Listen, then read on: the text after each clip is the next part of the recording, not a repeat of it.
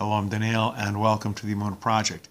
We here at the Emunah Project are continuing in our series of videos of uh, with respect to information, education, inspiration, guidance, advice to uh, converts, uh, Noahides, and Baalei Tshuva, those who are returning uh, to Judaism.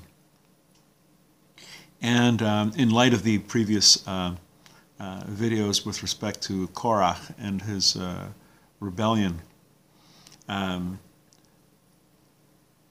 I'm reminded. Um, I'm reminded that when one criticizes um, a tzaddik, when, when a religious leader or, or, or, a righteous person is under scrutiny, the righteous person can never win, uh, really. Um, for example, Moses and Aaron. Moses, his tent, and when he taught people, his tent was outside the main camp. And people would say, oh, what use is he to us? Like he's excluding himself, he's out there, and he's not part of us, he's not part of the community.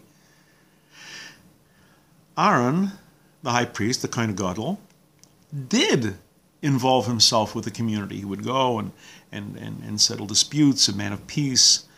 And uh, he was criticized for that. Oh, a guy of such noble uh, stature, the high priest, the Kohen Gadol, mixing in with the hoi polloi and, and, and the, the, the peasants alike. You know, he, he, he's above this. He shouldn't be. He shouldn't be doing that. He's, it's not befitting his station in life. In modern day terms, the same thing to religious, uh, religious people. Those who study Torah, who study the Talmud, Mishnah, Gemara, Shulchan Aruch, they're spending all day uh, learning and amassing the knowledge uh, to become a, a scholar. They're um, a batlan, uh, a ne'er-do-well. You know, get a job. He's just sitting there in, in, in, a study hall all day with your nose in a Talmud. What's the matter with you? You're useless. You're not, you're not providing any, any service to society. What's the matter with you?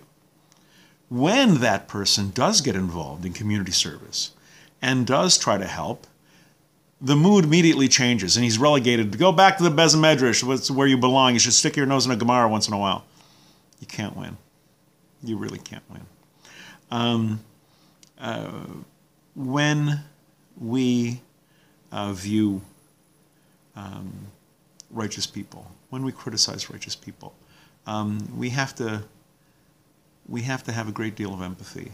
There's a reason they're doing what they're doing, and ultimately, like the three big principles of Emunah, everything comes from God. Um, everything is for a purpose, and everything is ultimately um, for the good. Um,